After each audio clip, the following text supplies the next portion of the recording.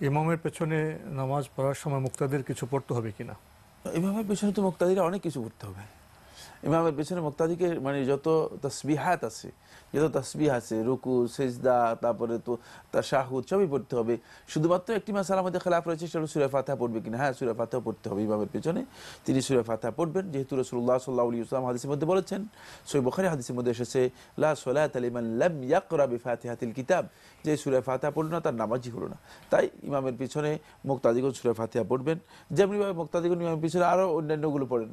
তাসবি পড়েন, রুকুর তাসবি পড়েন সেজদা তাসবি পড়েন, তাশাহুদ পড়েন দোয়া মাসুরা পড়েন, তারপরে দরুদ পড়েন ইত্যাদি। মানে সবগুলো যেগুলো পড়েন এর সাথে তিনি সুরায় ফাতেহা পড়বেন ইমামের পেছনে। আমরা